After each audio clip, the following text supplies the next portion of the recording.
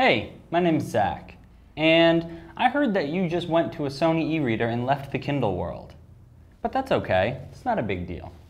Because, luckily enough, Kindle books, like this one here, let's go into my books, and oh, let's look this one. This actually is an EPUB book. So, what does that mean for you on the Sony e-reader?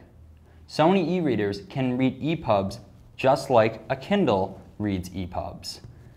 It's one of their native formats that they can read all the way around. So, luckily enough for you, if you have some EPUB books saved onto your computer, you're good to go to put that on your Sony reader. My name's Zach, and I hope this has helped. Thanks for watching.